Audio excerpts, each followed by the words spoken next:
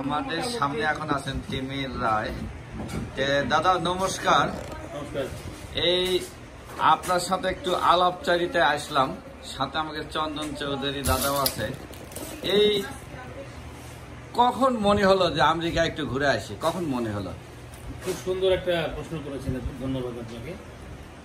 আসলে কখন আমেরিকা আসব আমার মনে হয় এরকম মানে কীভাবে ঘটে গেল আসা হ্যাঁ এটাই। এটা এটা ছোটবেলায় আমাদের বাংলাদেশ আমাদের দেশে একমাত্র একটাই টেলিভিশন ছিল বাংলাদেশ টেলিভিশন ওই টেলিভিশনে আমরা দেখতাম কোজাক বাইনোকুম্যান সুপারম্যান তারপরে দ্য এটিন ইয়েস এই সমস্ত ছবি যখন দেখতাম নির্জন সুন্দর পরিপাটি একটা গোছানো রাস্তা দিয়ে বিশাল বিশাল গাড়ি যাচ্ছে। তারপরে ইংরেজি বলাওয়ালা যে অভিনেতা অভিনেত্রীদের যে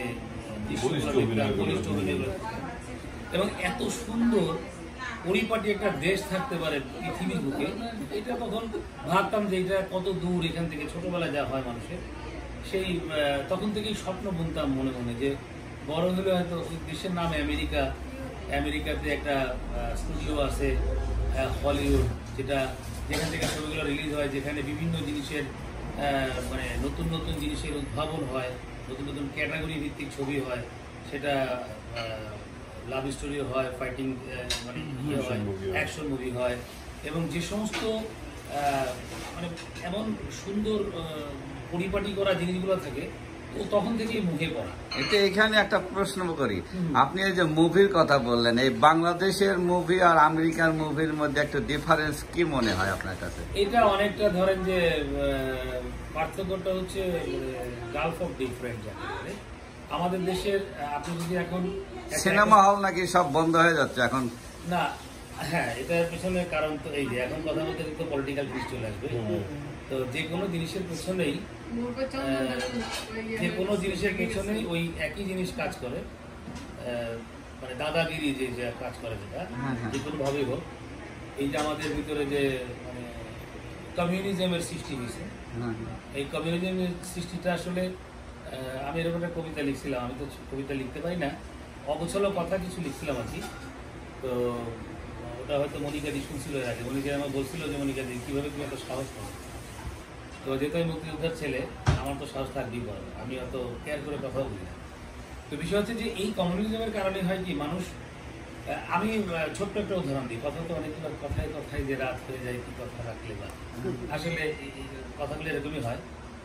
আমি যখন ইউরোপ ট্যুরে গেলাম, তখন যা মনে হলো যে আমার ধর্ম, আপনার ধর্ম যে কোনো ধর্মে যে নূরের কথা বলা হয়েছে, যে স্বর্গীয় ভাবের কথা বলা হয়েছে, আমার মনে হয় স্কিন এবং তাদের যে চেহারা, তাদের যে আঙুলের নখ তাদের যে জুলফি তাদের যে চোখের পাপড়ি তো আমার তো আমি তো মানে বৌদ্ধের মতো পৌঁছে যে নূরের চেহারা মনে অমনি হয়। তো আমার কাছে মনে হতো সাক্ষাৎ নূর ওইটাই।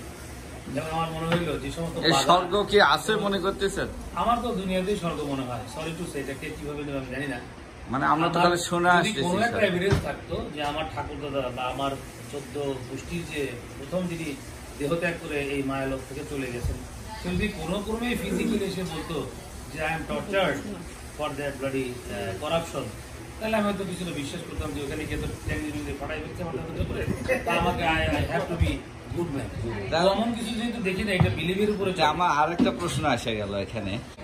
একটা অরফেনেজ মানুষ বা যাদের কিছু নাই অর্থ নাই তারা কি করে জানেন? পোলার গন্ধ মানে সুখে টের পায় যে পোলাটা কত টেস্টি সেটা খাবার ক্ষমতা নেই। ঠিক আমাদের যেটুকু ক্ষমতা দিচ্ছে যেটুকু সুযোগ আমি বিধাতার কৃপায় পাইছি বা আপনাদের এই যে আমি একদিন মতো জায়গায় বেড়াতে আসছি এসে দেখলাম সর্বে ধর্মের মানুষ সর্বজাতির মানুষ সর্ব কোনো ভেদাভেদ নাই এখানে। কিছুই তো নাই।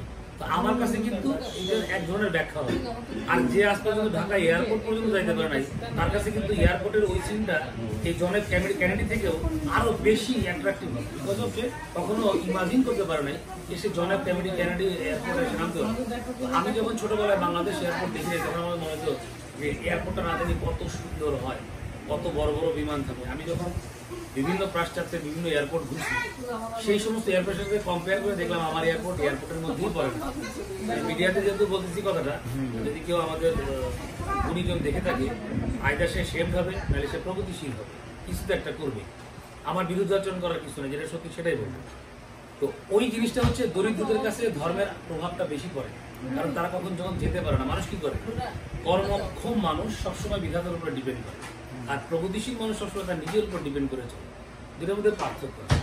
ধর্ম হচ্ছে অনুশাসন যে সমান পথে সোজা পথে চলার জন্য একটা দিক নির্দেশনা দিচ্ছে That's enough. আর কিছু না, ঠিক, এই আমি- স্বর্গ নরকের যে পার্থক্য বললেন আপনি বা পার্থক্য যে বলতেছেন যে পার্থক্য আমার কাছে যেমন হবে আমার দেশের একদম ছাপোষা মানুষের কাছে তেমন হবে না।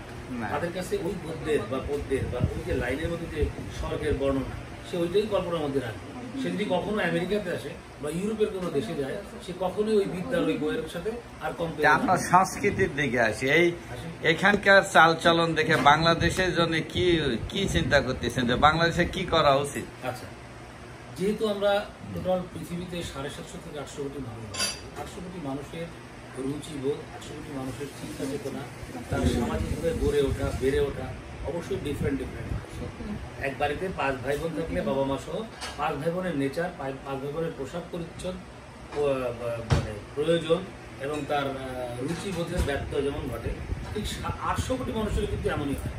আমি এখানে যে পরিবেশ দেখলাম এরা they are used to from earlier মানে একদম শুরু থেকেই তারা এইভাবে অভ্যস্ত। যেমন আমি এখানে দেখলাম বেশ খোলামেলা মানে আমি সে গেলাম ফ্লোরিডাতে গেলাম ওখানে গিয়ে আমার প্যান্ট ময়লা। তা আমি বক্সার শর্ট পরেই ঘুরলাম। এই যে অবাধ স্বাধীনতা আমাদের কেউ তাকালো না। আমাকে আর দৃষ্টিতে কিছু বলল না। এটা আমি একবার নিজের কাছে কোশ্চেন করলাম আমার রাইট হলো।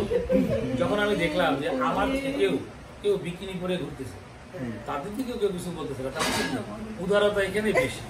ডার্টিনেসটা কম। বিভিন্ন এইটা আমি কখনোই আমার দেশে ইমপ্লিমেন্ট করতে চাইব ওটা ওই পরিবেশের সঙ্গে আমার এই গান বাজনার দিকে কথা বলছি। হ্যাঁ গান বাজনার দিকে যার যার নিজের সৃজনশীল চর্চার একটা যে সঙ্গীতে সমৃদ্ধ যে কালচারে সমৃদ্ধ আমরা সেই জিনিসটা। পাবো তা আমরা।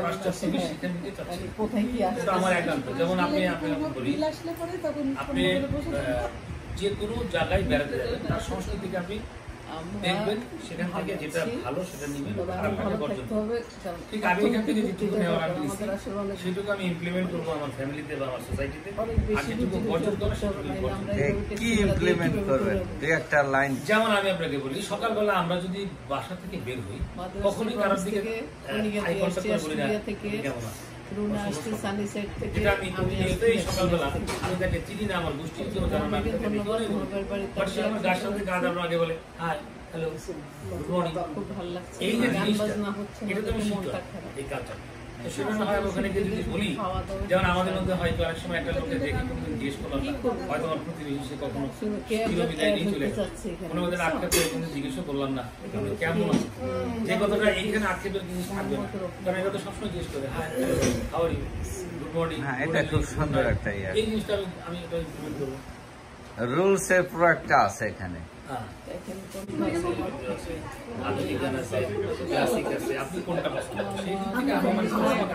আপনি কোনগুলো সাধারণত গান? আধুনিক গান। আপনি কত বছর ধরে গান গাচ্ছেন? আচ্ছা এই বছর তো আসলে ওইভাবে মনে করা যাবে না? মানে কত বছর বয়সে যখন যখন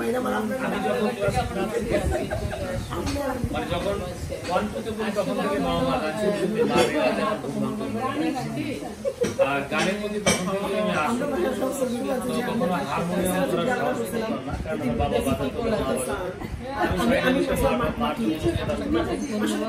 ওই চর্চাটা দেখতাম মাকে কীভাবে শিখাচ্ছে বা মার কোথায় ভুল হচ্ছে মার কোথায় শুদ্ধ হচ্ছে মা ভালো একটা গান করতেছে। ওই অবসর সময় স্কুল লাইফেও আমার একটা বদলঘর ছিল। আমি ওই কলম দিয়ে রিদম উঠাতাম। আমার ওইভাবেই আমার মানে সংগীত রক্তে আসা। আর আমি টানা করতেই থেকে দশ বছর এক, একটি ধারে জাতীয় সঙ্গীতে লিড দিছি স্কুল, কলেজগুলোতেও আমি সঙ্গীতে দিছি আর তারপরে কখন যে মানে প্রথম গান বলেন প্রথম কোন আচ্ছা, গানটা গায়ে আনন্দ প্রথম ফিল করছেন 1986 মাধুরী কৃষ, কণিকা দীপ্তি কৃষ। ছিয়াশি সালে আমি প্রথম তখন আমাদের একটা চল থাকে না যে শিল্পীর আবির্ভাব। সবার কাছে গ্রহণযোগ্য ওভাবে হোক বা না কিন্তু প্রচার হয় হ্যাঁ, মার্কেটিংটা হয়ে গেল সবচেয়ে। ভালো গানের মধ্যে ছিলেন হচ্ছে তো পরদেশির একটা গান ছিল আমি দিয়ে খাইলাম ভোগে এই গানটা আমার তখন আমি ওই যে আমাদের বাসায় রিহার্সেলে তো বড় বড় সিনিয়ররা ছিল। তো তখন ওই গান করতে করতে করতে করতে একসময় আমার গান যখন হয়ে গেল মুখস্থ ওই একটা গানই আমি জানি। আমাদের অর্গানাইজার ছিল জয়ন্তদা জয়ন্তদা বলল যে তুমি আমাদের সঙ্গে গান গাবে। ওনারা খুবই সিনিয়র আমার চেয়ে অনেক মানে চেঞ্জ তো আমি রেডিও কলোনি আমাদের সাভারে রেডিও কলোনি একটা জায়গার নাম ওখানে রেডিও স্টাফ যারা থাকে ভিড়ে ভিড়ে ওখানে একটা স্কুলে মানে মজার যে আমি ওই একটা গান গাইছিলাম, আমি সম্বন্ধে খাইলাম ভাবে। এই গানটা গাওয়ার পরে আমি তো সবার গানটা এতই ভালো হয়েছিল যে ওখানকার সিনিয়র যারা আমন্ত্রিত অতিথি ছিলেন, তারা সবাই এসে আমাকে কোলে তুলে বলল বাবা, তুমি আরেকটা গান গাও। তুমি তো আমাদের একদম মানে হৃদয়ে টাচ করছ গানটা গায়ে টেনে টেনে গান গাই, একটু টান টান ছিল গানের মধ্যে আর কি। ওই যে ওই গানের মধ্যে টান ছিল কিছুটা তো টানটা শুনে আমার খুব ভালো লাগে তো সেকেন্ড গান বলতে আমি আর কিছু জানি শুধু সারে কমা হুম। তো তখন আমার উপস্থাপিকা যিনি ছিলেন সে টেকনিক্যালি আমাকে সেভ করে। সে বলে যে গলায় বিশাল একটা প্রবলেম হয়েছে। ডাক্তার ওকে রেস্টে রাখছে তারপর আমরা ওকে নিয়ে আসছি। একটা গান দোয়া করেন ইনশাল্লাহ আগামীতে ও ভালো গান করবে আপনারা দোয়া করবে যাক ওনাকে কনভিন্স করে পরে আমাকে আর কি বাঁচায় ওই প্রথম স্টেজ এই প্রথম স্টেজ আর এখন এখন যে আপনি এক দিদির ভাই হিসেবে আসলেন কত দিদি পাইলেন? এটার অনুভূতি কি? আচ্ছা একটা এটার পিছনে লাগছে? আরেকটা কারণ। এটার পিছনে একটা লজিক আছে। এক হচ্ছে যে আমি আমার বোনের ভাই এটা তো ঠিক আছে এখানে এসে তো ভাই বোন পেলাম কি? আমি আমার জীবনে একটা জিনিস বুঝি সেটা হচ্ছে যে সবসময় সবাইকে বলি অর্থ হচ্ছে সঞ্চয়ের জিনিস। আপনি চাইলে সঞ্চয় করতে পারেন for for the next generation কিন্তু যে জবান দিয়ে লড়াইছে বিধাতা, আমি যে কথা বলি, এই কথা সঞ্চয় করার তো কোনো ভ্যালু এন্ড অফ দ্য লাইফে মানে লাইফ মে সরি এন্ড অফ দ্য লাইফে কিছু যাবে না। যাবে?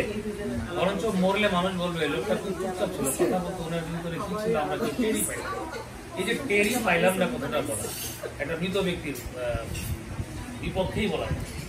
আমি চাই মানুষ কিন্তু আসলে অর্থ দিয়ে পূজার মাধ্যমে আপনি ভক্তি করলেই আপনি তার অন্তর্জয় করতে পারেন আই ডোন্ট বিলিভ দিস আপনাকে আপনার চোখের দিকে তাকে অন্তর দৃষ্টি দিয়ে আপনাকে আগে বুঝতে হবে হ্যাঁ। আমি আপনাকে বলছি না বিধান কে এই যে শুরু বিধানের পর থেকে বিধানের প্রতি আমার যে মোহ বোঝা বা জানার এটাকে বলা হয় কন্ট্রিবিউশন আমি যদি আপনার ভালোবাসায় কন্ট্রিবিউট করি one day you must return তো ভালোবাসা আমি চন্দনদাকে দেখি নাই দেখি নাই। আমার তো মনে হচ্ছে ডিকেট টু ডিকেট তার সাথে আমার সম্পর্ক ছিল আমি in absence of me I like সঙ্গে আমার দেখা হলো আজকে বিষয়টা এই যে আমি গোসায় নিতে পারি আপনাকে এটা আমার কোয়ালিটি আর এই যে আপনি গোছানোর সহজে গোছানো এটা আপনার হ্যাঁ, quality। আমার আপনি আমাকে না। হ্যাঁ। আমাকে এর জন্য মেহনত করতে কষ্ট বুঝাইতে। আমি পারতাম অ্যাচিভমেন্ট করতে এটা আমার টার্গেটই থাকে যে বিধানটা আমি অ্যাচিভ করি এই যে বিধানটাকে আমি অ্যাচিভ করছি আমার জন্য আপনি কাল ক্ষেপণ না করে ক্যামেরাটা আমার দিকে ঘুরে সময় নষ্ট কল লাভ এটাকে ভালোবাসা হ্যাঁ। তাহলে আমরা দরকার আমি আপনার জাস্ট কথা স্মৃতিগুলা অনুভূতিগুলা নিচ্ছি যাতে নেক্সট কারও অনুভূতিটা উপকারে লাগতে পারে আপনার এই ফিলিংসগুলো আমি জানি না কি ভুলভাল বলছি আমার মনটা ঠিক না, না না। দাদা লাস্ট অনুভূতিটা নেওয়ার চেষ্টা করুন। তারপর আমি নিচ্ছি আমরা একটা হালকা শব্দ অনুভূতিটা যে কি হবে সেই সেই জায়গাটা যাবেন না। হ্যাঁ। কারণ সেই জায়গাটা আমি সহ্য করতে পারব না। না না ওটা না। আমি ওই তাহলে আমি চন্দন দাকে চিনলেন কীভাবে বলেন। চন্দনদা হচ্ছে একজন popular এখানেই person। দিছিলেন না, না চন্দনদা আগে? আমার বাংলাদেশ থেকে আমার খুব প্রিয় প্রিয় বলতে এই কারণে কি আমরা তো আসলে উনি কিন্তু এখানে প্রিয়, একে অলি গলি সব জায়গায় প্রিয়। ওনার আইডেন্টিফিকেশনটা অল্প একটু বললেই আপনি বুঝতে পারবেন একটু বলেন আমরা তো কুসংস্কৃতিতে বড় হইনি সুসংস্কৃতিতে বড় হয়েছি হ্যাঁ। তো বাবা মার কাছ থেকে শুদ্ধ সংস্কৃতিতে বড় হয়েছি মানে শুদ্ধ সুরে যারা গান করে হ্যাঁ। শুদ্ধ ভাষায় যারা সংস্কৃতি চর্চা করে যারা আহ, প্রেক্ষাপট, বাস্তবতার প্রেক্ষাপটে নাটক লেখে, যারা বাস্তবতার সংস্পর্শ থেকে অভিনয় করে, সেই সমস্ত অভিনয় তো দেখতে থাকে। না হলে আজ থেকে near about eight years back Uttam Suchitra আসছিল। তাদের কথা আমি আমি যাক, আমার বাবা, আমার ঠাকুরদা, তার বাবা তার বাবা ইভেন তো আমার বাচ্চারাও এক সময় উত্তম সুচিত্রার প্রেমের কথা বলবে, তাদের একটা মিষ্টি ডায়লগের কথা বলবে, কেন? এই যে আত্মার যে অভিনয় করে, এই জন্যই তো এত মনে রাখা। আপনার আত্মশুদ্ধি দিয়ে যেটা করে সেটা তো মনে মনে চন্দনদা হচ্ছে ওই সময়টুকু ওই যুগের। ওনারা যেটুকু অভিনয় করছেন যেটুকু উনি ওই যুগ কীভাবে ইনি তো ইয়ং ইনি আবার কত যুগ? ওটা তো হ্যাঁ, দিক থেকে দেহের দিক থেকে বুড়া না হলে কেউ বুড়া হয় না হ্যাঁ। হ্যাঁ অনেক আছে আসলে মানুষ তো রবীন্দ্রনাথ আমার কথা বিশ্বকবি রবীন্দ্রনাথের কথা হচ্ছে মানুষ কখনো অর্থ অভাবে মরে না। হ্যাঁ, আপনার যদি বিনোদন থাকে আপনি এক টাকা দিয়ে সামনের সিটে বসে ছবি দেখলে যে ফিল পাবেন এক লোক ডিসিতে ছবি দেখলে ফিলটা পাবেন না বিকজ অফ তার মনই নাই হ্যাঁ হ্যাঁ। মনটাকে কীভাবে চাঙ্গা রাখতে হয় হি ডাজন্ট নো। তো জিনিসটা হচ্ছে যে আপনি আপনার যেটা বললাম ওনার কথায় আসি। চন্দনদাদের সময়কার অভিনয় চন্দনদাদের যে একাগ্রতা তারপরে যে সমস্ত যেভাবে ডায়লগ বলতো আমরা তো কম্পারিজনের মধ্যে ডায়লগ মনে আছে দু একটা। আমার এই মুহূর্তে ডায়লগ ওভাবে করে মনে নাই কারণ এখন তো এ চন্দনদার একটা ফেভারিট একটা ডায়লগ চন্দনদার মুখে শুনি তো আমি এখন যেন আমি বাসায় স্নান করি একরকম দিদির বাথরুমে ঢুকলে আমার স্নান হয়ে যায় অন্যরকম। তো সিচুয়েশনটা তো এইরকমই। যেখানে যাই তখন আর বাকিটা মনে থাকে না। বাসায় গেলে আবার ওই চর্চাই হয়ে যায়। তো চন্দন দাসের অভিনয় এমন অভিনয় শৈলীতে এত ভালো ছিল আর তখন চন্দন দা এটা কত সালের দিকে এটা? এটা এই তো আশি দশক আশি দশ আশি টু নব্বই এরকম সময় ওনার যুগ ছিল একটা আচ্ছা তখন দেখতে সুন্দর ছিল না তখন তো না না তখন আমি কিন্তু বলি নাই যে বুড়া হয়েছে এটা বলি নাই সত্যিটাকে শোনেন একদম শুধু শুধু সোনার বাড়তি কিন্তু কোনো গয়না একটু খাদ।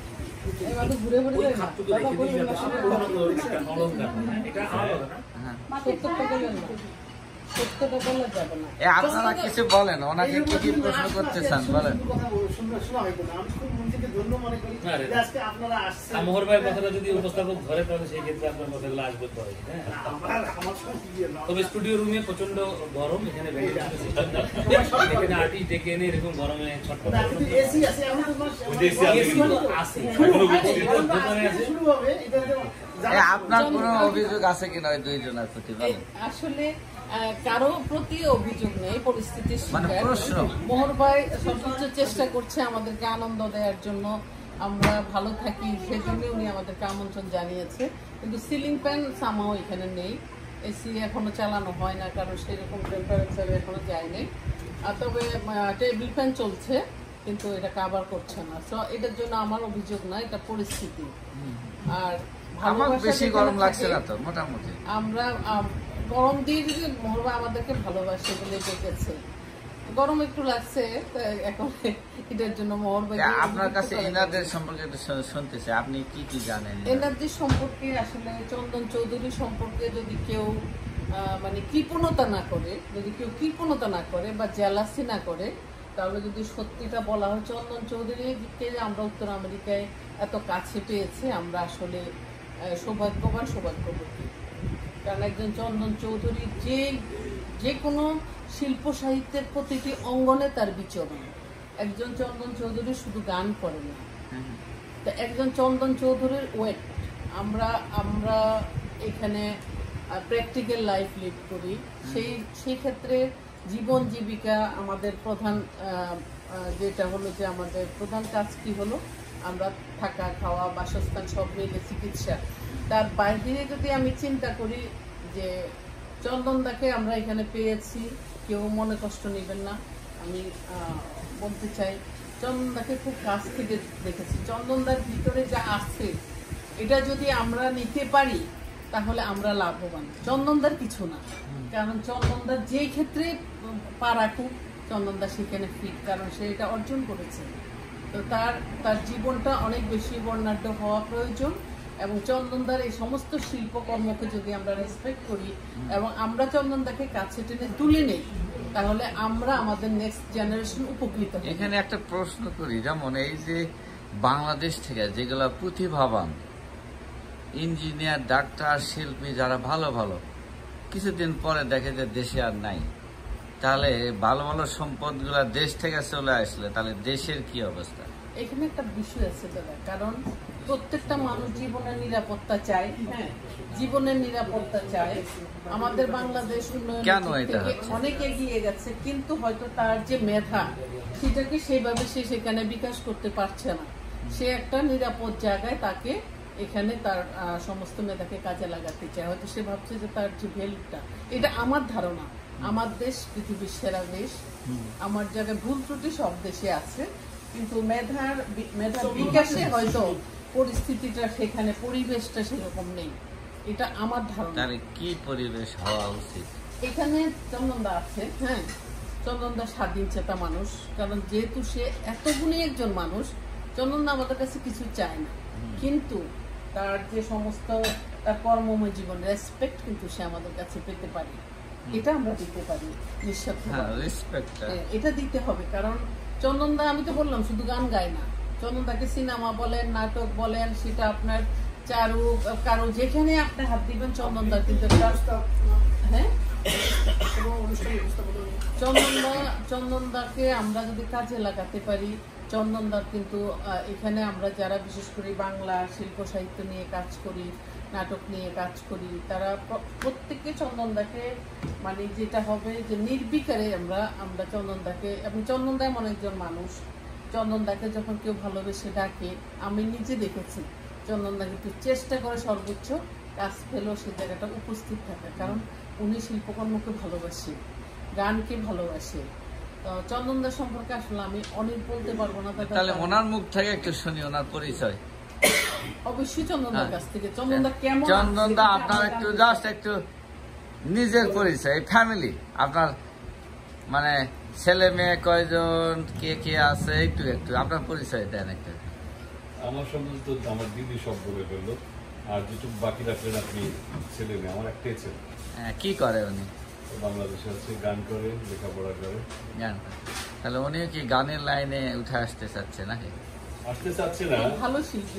আপনাদের আশীর্বাদে ও নিজের নিজের একটা অবস্থান তৈরি